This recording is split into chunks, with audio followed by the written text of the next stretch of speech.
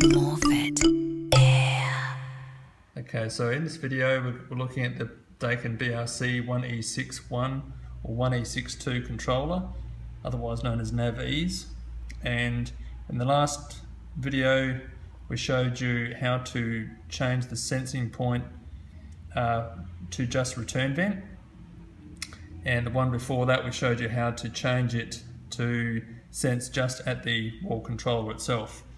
So in this video we're going to show you how to change it so that it uh, does a alternates between the, the, the temperature sensor on the wall controller and the return vent so it takes a, a sample of each.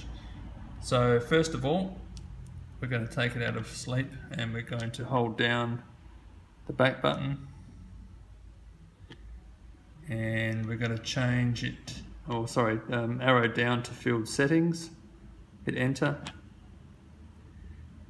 We're going to leave it at 20 hit the arrow across button to 2 and we're going to change this down to 1 so 20 to 01 and what that will do is take temperature sensing yes to that from both the wall controller and the return vent hit the back button. Again go into reset mode. And that's all you need to do. Thanks. Morphett